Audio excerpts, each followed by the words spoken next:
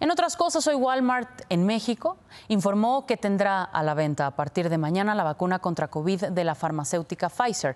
La empresa publicó en su página una lista con los puntos en donde ya tendrá disponible la vacuna y su meta es aplicarla en 130 consultorios ubicados en tiendas Walmart distribuidas en 19 estados del país. Los primeros días tendrán disponible solo la versión para mayores de 12 años, pero a partir del 4 de enero también la que se utiliza o se utilizará para niños. ¿Cuánto va costar esta vacuna?